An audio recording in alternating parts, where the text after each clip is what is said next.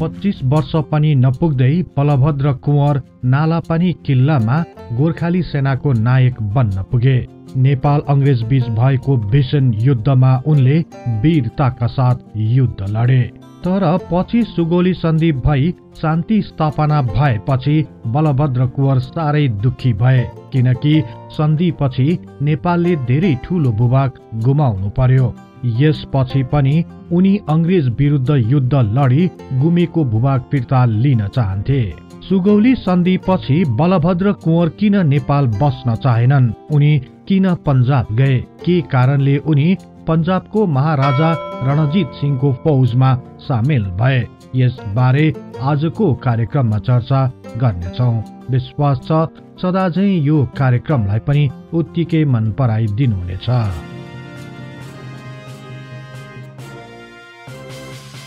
अङ्ग्रेज फौजले नालापानी किल्लालाई घेराउ गरी तोपद्वारा भीषण आक्रमण सुरु गरे। लगातार आइरहेका तोपका गोलाहरूले किल्लाका पर्खालहरूलाई छिया छिया बनाइदियो। यतिकैमा पूर्वतर्फको पर्खाल अचानक ढल्न पुग्यो। किल्लाभित्र गोर्खाली सेनाको स्थिति दयनीय बन्दै गइरहेको थियो। कतिपय सैनिकहरू खाना र पानी नपाई छटपटाइरहेका थिए। घाइते सैनिकहरूको स्थिति झन दयनीय बन्दै गइरहेको थियो। तैपनि बाँचेका गोर्खालीहरूले अङ्ग्रेज फौज विरुद्ध प्रतिकार गरिरहे। बिस्तारै दिन ढल्दै गयो। रातमा अङ्ग्रेज फौजहरूको आक्रमणमा केही कमी भए तापनि उनीहरूले किल्लाको घेराउलाई झन कसिलो बनाउँदै लगे। किल्लाभित्र पानीको अभावले धेरैको ज्यान जान थालेपछि गोर्खाली फौजको एउटा सानो टुकडी मध्यरातको दुई बजेतिर पानी लिन किल्लाको दक्षिणमा रहेको पँधेरोसम्म ओर्लने प्रयास गरे। तर ढुकेर बसेका अङ्ग्रेज सेनाले अचानक बन्दुकद्वारा आक्रमण गरेपछि उनीहरू पछि हट्न बाध्य भए। यसपछि किल्लाभित्रको दृश्य झन भयावह बन्दै गयो। घाइते सैनिकहरू पनि धमाधम मर्न थाले। बाँचेका सैनिकहरू बीच एक छलफल सुरु भयो। केही सैनिकहरूले किल्ला छोड्ने विचार गरे। आउने समयमा किल्लाभित्रको सङ्कट झन बढ्दै जाने बाह्य सहयोग बिना केही पनि गर्न नसकिने र किल्लामा नै बसी युद्ध लड्न आत्मघाती हुने भएकोले अन्यत्रको पहाडमा गई किल्ला जमाई शत्रुसँग लड्न सकिने तर्कहरू अघि सारियो। तर सो तर्कसँग सेनापति बलभद्र कुवर सहमत भएनन्। यति हुँदाहुँदै पनि केही गोर्खाली सैनिकहरूले किल्ला छोड्न तयार भएपछि बलभद्र कुँवरले आफ्ना योद्धा साथीहरूलाई सम्झाउँदै भने बाँचिरहेका हामी यति नै हौ। बाँचेका तपाईँहरू सबै जानुहोस् म एक्लैले यो गढीको रक्षा गर्दै रहला यो सुनेपछि अन्य साथीहरूले तुरुन्तै जवाब फर्काउँदै भने हामी आफ्नो प्राण रहेसम्म यो किल्लाको रक्षा गर्नेछौ। तर तपाईँ सेना नायकले चाहिँ यो किल्ला छोडी सुरक्षित अन्य स्थानमा जानु बेस होला। यसरी आग्रह गर्दा पनि सेनापति बलभद्र कुँवर किल्ला छोड्न मानेनन्। अन्य साथीहरूले बलभद्र कुँवरलाई सम्झाउने निकै प्रयास गरे। निकै लामो छलफलपछि अन्तत बाँचेका सबै किल्ला छोडेर अन्यत्र जानेमा सहमति भए। यसपछि किल्लाभित्र रहेका घाइते सैनिकहरूको अन्तिम पटक निरीक्षण गरियो। उनीहरूको अवस्था देखेर सकुशल रहेका गोर्खाली सैनिकहरू झन भाव विरल भए। यस लगत्तै सबैजना सँगै बाहिर निस्कने र बैरीहरूले छोप्न आएमा लड्दै जाने योजना बन्यो। बलभद्र कुँवरले काँधमा बन्दुक पीठमा तोसदान र कम्मरमा खुकुरी भिरे। अन्य सैनिकहरूले पनि खुकुरी सहित आफ्ना हतियारहरू उठाए।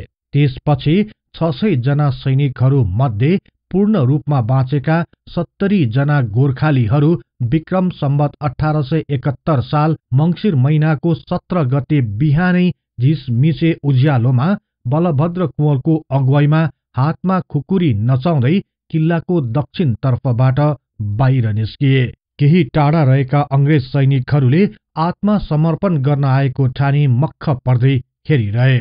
गोर्खाली समूह केही तल पुगेपछि सबैले पानी पिए अनि सेनापति बलभद्र कुँवरले अङ्ग्रेज फौजतिर फर्केर तिमीहरूले लडेर यो किल्ला लिन कसै गरी सक्ने थिएनौ तर अब हामीले यो किल्ला छाडेर जाँदैछौ। त्यसपछि गोर्खाली सैनिकहरू अझ केही तल झरेर नहान जाने अर्को पहाडको उकालोतिर लागे। किल्लालाई घेरा हाली बसेका अङ्ग्रेज सैनिकहरू हेरेको हेरै भए। सेनापति बलभद्र कुँवरसहित केही गोर्खाली सैनिकहरू किल्ला छोडी गए तापनि अङ्ग्रेज फौज किल्लाभित्र जान डराइरहे।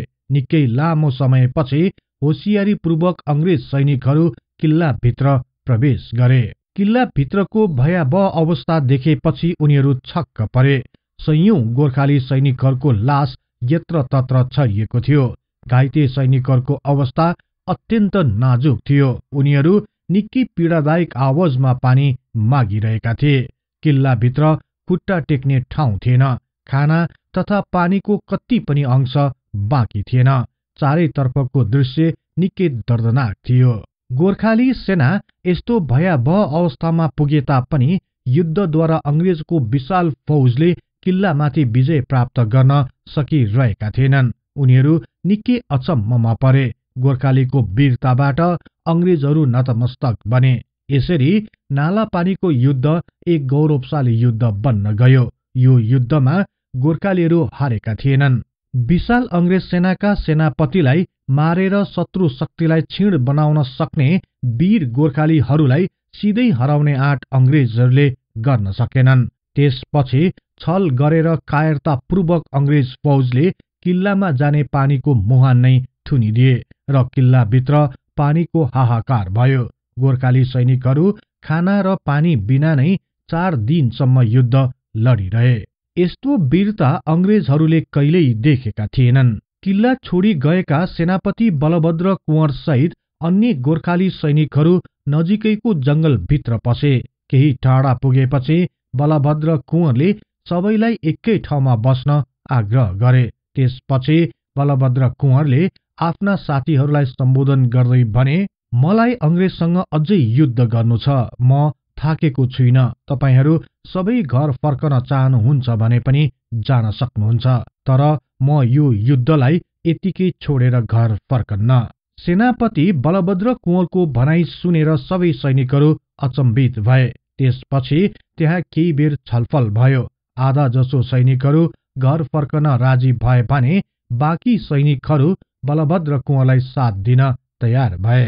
यस लगत्तै बलभद्र कुँवरले नेपाल र अङ्ग्रेजबीच सन्धि मार्फत युद्ध विराम भएको खबर थाहा पाए। यो सुनेर बलभद्र कुँवर झन आक्रोशित बने। उनले कुनै पनि हालतमा घर नफर्किने अड्डी लिए। त्यसपछि उनी र उनका साथीहरू हिँडेरै पन्जाबको सीमा क्षेत्रमा पुगे। यसरी बलभद्र कुँवर नालापानी युद्धपछि सिधै पन्जाब प्रस्थान गरी महाराजा रणजित सिंहको फौजमा सामेल भए। पुराना इतिहासका पन्नाहरूमा बलभद्र कुँवरलाई यस प्रकारले व्याख्या गरिएको थियो। तर प्राप्त पछिल्ला केही अभिलेखहरूले बलभद्र कुँवरको तथ्यतालाई अझ स्पष्ट पारेको छ। वास्तवमा बलभद्र कुँवर नालापानी किल्लाबाट निस्किएपछि सिधै पन्जाब प्रस्थान गरेका थिएनन्। उनी त्यहाँबाट अर्को पहाडी मोर्चामा पुगी पुनः युद्धमा होमिए त्यसपछि उनी पूर्वपट्टिको पहाडतिर लागे। उनलाई पछ्याउँदै एक हजार सैनिकहरू सहित अङ्ग्रेज सेनापति लुड्लो अघि बढ़िरहेका थिए। पूर्वी पहाड़को मोर्चामा मिसिएका बलभद्र कुँवरको समूहले अङ्ग्रेज फौज विरूद्ध भीषण युद्ध लडे। नालापानीबाट निस्किएको दोस्रो दिनमा भएको सो युद्धमा अङ्ग्रेज तर्फका तीनजना अधिकृत र पन्ध्र जना सैनिकहरू मारिए। यसपछि अङ्ग्रेज फौज पछि हट्न बाध्य भयो। अङ्ग्रेजहरू पछि हटेपछि बलभद्र कुँवर र उनका केही साथीहरू रातभर हिँडेर गंगा नदीको किनारको चतुवारगढी पुगे। काठमाडौँबाट थप दुई सय पचास सैनिकहरू लिएर आइरहेका काजी रणदीप सिंह बस्नेतसँग त्यही बलभद्रको भेट भयो। त्यसपछि उनीहरू जयन्तगढतर्फ लागे। जयन्तगढलाई सम्हालिरहेका गोर्खाली सेनाका सेनानायक काजी रणजित कुँवरसँग उनीहरूको भेट भयो। यसपछि बलभद्र कुँवरले विभिन्न मोर्चामा रही अङ्ग्रेज विरूद्ध युद्ध लडिरहे। विक्रम सम्बत अठार सय बहत्तर साल जेठ चार गतेका दिन बडाकाजी अमरसिंह थापाले जनरल अक्टर लोनीद्वारा पठाइएको एक सन्धि पत्रमा हस्ताक्षर गरेपछि दुवै पक्षबीच चल्दै आएको युद्ध समाप्त भयो। यसपछि कम्पनी सरकारसँग वार्ता गर्न पण्डित गजराज मिश्रलाई पठाइयो तर सो वार्ता असमान भएपछि नेपाल पक्षले मान्न अस्वीकार गर्यो। यसपछि अंग्रेज सरकारले पुनः नेपालमाथि आक्रमण गर्ने योजना बनायो। यस लगत्तै अर्थात विक्रम सम्बत अठार सय बहत्तर साल भदौ महिनामा पुनः वार्ता शुरू भयो। सोही वार्तापछि विक्रम सम्बत अठार सय बहत्तर साल फागुन तेइस गते अर्थात सन् अठार सय सोह्र साल मार्च चार तारिकको दिन सुगौली सन्धि भयो। कतिपय इतिहासकारहरूले सुगौली सन्धिपछि बलभद्र कुँवर राजधानी काठमाडौँ नगई आफ्ना केही साथीहरूसहित पञ्जाब गए र महाराजा रणजित सिंहको फौजमा भर्ना भए भन्ने धारणा व्यक्त गरेका थिए। तर पछिल्ला अभिलेखहरूबाट सुगौली सन्धिपछि उनी राजधानी काठमाडौँमा आई केही वर्ष जागिरमा नै खटिए भन्ने तथ्यता प्राप्त भएको छ। सुगौली सन्धिपछि धेरै गोर्खाली सैनिकहरू मध्ये केही मात्र आफ्नो देश फर्किए। बाँकी केही सैनिकहरू अंग्रेजले लिएको नेपालको भूभागमा बसोबास गर्न थाले भने अन्यहरूले अंग्रेज फौजमा भर्ना भई काम गर्न थाले। राजधानी नफर्किएका धेरै सैनिकहरूलाई तत्कालीन मुक्तियार भीमसेन थापाले पदच्युत गरिदिए। यसै समयताका बलभद्र कुँवर राजधानी काठमाडौँ आए। काठमाडौँ आएपछि उनी सैनिक सेवा अन्तर्गत केही स्थानहरूमा खटिए। यसै समयताका बलभद्र कुँवरको मुक्तियार भीमसेन थापासँग खासै राम्रो सम्बन्ध बनिरहेको थिएन। यसरी मुक्तियार भीमसेन थापाको तारो बन्नु र मुलुकभित्र खुकुरीको सान र अवसर देखाउने मौका पनि नरहनुले बलभद्र कुँवर नेपालमा बस्न चाहिरहेका थिएनन्। यसै समयताका उनले आफ्ना मामाहरू अर्जुन सिंह र भोपाल सिंह थापासँगको भेटमा अन्य मुलुकमा जाने इच्छा व्यक्त गरे। भीमसेन थापाको कार्यसँग अन्य केही सेनानायकहरू पनि असन्तुष्ट थिए। यही समयमा बडा काजी अमरसिंह थापाले राजीनामा दिए। सोही समयताका बलभद्र कुँवरले पनि सैनिक सेवाबाट अवकाश लिने विचार गरे। यस लगत्तै अर्थात् विक्रम सम्बत अठार सय छ्यात्तर सालको अन्ततिर बलभद्र कुँवरले सैनिक जीवनबाट अवकाश लिए। बलभद्रले अवकाश लिएपछि भीमसेन थापा उनीसँग निकै आक्रोशित बने। अब भने बलभद्र कुँवरलाई नेपालमा बस्न निकै गाह्रो हुन थाल्यो। उनको हरेक गतिविधिमाथि भीमसेन थापाले गुप्तचरहरू पठाई निगरानी गर्न थालियो। यसरी नेपालमा बस्न निकै असहज हुँदै गएपछि उनी आफ्ना मामाहरू अर्जुन सिंह भूपाल सिंह थापा र अन्य केही साथीहरूसहित पन्जाबतिर लागे तर अन्य केही इतिहासकारहरूले बलभद्र कुँवरले सयौं नेपाली युवाहरूलाई जम्मा गरी एक ठूलो जमात लिएर पन्जाबतिर गएका थिए भनी उल्लेख गरेका छन्। पन्जाबतिर जाँदा बलभद्र कुँवरले आफ्नी पत्नी र छोराहरू शरणभद्र र केशर सिंहलाई नेपालमै छोडेका थिए। पन्जाबका महाराजा रणजित सिंहले बलभद्र कुँवरको समूहलाई भव्य स्वागत गरे। त्यसपछि नै लाहोरमा गोर्खाली पल्टनको निर्माण गरियो र बलभद्र कुँवरलाई सो पल्टनको कमाण्डर बनाइयो। केही इतिहासकारहरूका अनुसार सोही समयताका पनि मुक्तियार भीमसेन थापाले बलभद्रको जासुसी गर्न एकजना सुबेदार खटाएका थिए। तत्कालीन समयमा अफगानिस्तानको राजनीतिक अवस्था अस्थिर थियो।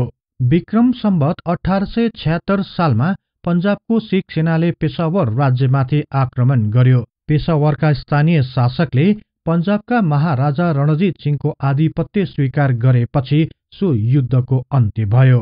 यसरी पेसावरलाई आफ्नो अधीनमा लिएपछि अफगानिस्तानका सम्राट पन्जाबसँग निकै रुष्ट बन्न पुगे। यसपछि विक्रम सम्बत अठार सय उनासी सालको अन्ततिर अफगानिस्तानले पेसावरमाथि भीषण आक्रमण गर्यो। सो आक्रमणलाई प्रतिकार गर्न महाराजा रणजित सिंहले बलभद्रको नेतृत्वमा रहेको गोर्खाली पल्टनलाई पेसावरमा खटाए। गोर्खाली सेनाले अफगानिस्तानको भीषण आक्रमणलाई प्रतिकार गरी अघि बढ्दै गए। सो युद्धताका धेरै अफगानी सैनिकहरू मारिए। अघि बढ्दै जाँदा गोर्खाली सेना नौसेरा भन्ने स्थानमा पुग्यो। नौसेरामा भीषण युद्ध हुँदै गर्दा कमाण्डर जनरल बलभद्र कुँवर अफगानी सेनाको घेराउमा नराम्ररी फसे। सो घेराउलाई तोड्ने क्रममा बलभद्र कुँवर अफगानी सैनिकहरूको गोलीको शिकार बने। यसरी कमाण्डर बलभद्रले आफ्नो ज्यानको बलिदान दिएर पन्जाबको विजयलाई सुनिश्चित गराइदिए तर उनले विजयको सुख भोग्न पाएनन्। यसरी विक्रम सम्मत अठार सय उनासी साल चैत्र तीन गतेका दिन विदेशी भूमिमा एक नेपाली वीर योद्धाले वीरताका साथ आफ्नो जीवनको बलिदान दिए। कमाण्डर बलभद्र कुँवरको पन्जाब पलायनपछि लाउरे शब्दको प्रचलन सुरु भयो। यो शब्द आम नेपालीहरू बीच निकै प्रख्यात बन्न गयो। यसरी बलभद्र कुँवरले सुरु गरेको लाहुरे आजसम्म आइपुग्दा यसको स्वरूप र प्रयोग विभिन्न समयमा परिवर्तन भए। तर आम तथा सर्वसाधारण नेपालीहरू विदेशतिर पलायन हुने प्रथामा भने कुनै कमी हुन सकेन। समयको माग भन्दै धेरै व्यवस्थाहरू फेरिए तर आम नेपालीको मर्ममा कुनै सुधार हुन सकेन। विश्वको उत्कृष्ट व्यवस्था भन्दै ल्याइएको आजको समयमा पनि दैनिक हजारौं नेपालीहरू विदेशतिर पलायन हुन बाध्य छन्।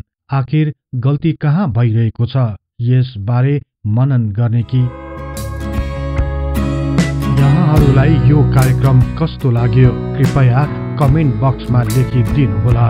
यस्तै तथ्य इतिहासको लागि हिस्ट्री इन नेपाली च्यानललाई सदैव सम्झनुहोस् इतिहासको कुनै पनि कालखण्ड बारे तपाईँले सुन्न र बुझ्न चाहना राख्नु भएको छ भने तल रहेको कमेन्ट बक्समा उल्लेख गर्नुहोस्। हामी सो बारे प्राथमिकताका साथ कार्यक्रम बनाउनेछौँ।